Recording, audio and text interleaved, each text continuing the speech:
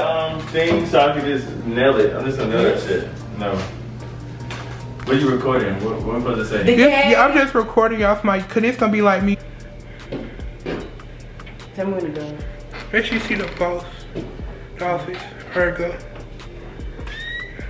Hey. Haircut today as well. I feel as if that you're supposed to get a haircut before the first day of school. I do not like getting my haircut weekdays before school starts. Cause it's not um it is so much traffic and I already do not like driving on the highway and this traffic is not making what I don't like any better. I just want to get to school. That's all. That's it. That's the tweet. Right now, YouTube, I just bought a piece for my bathroom, and I'm really stressed out because they give you directions and they're like a coloring book. So I'm still trying to figure out how to like put it together and stuff. And you guys can see the finished product in my dorm tour.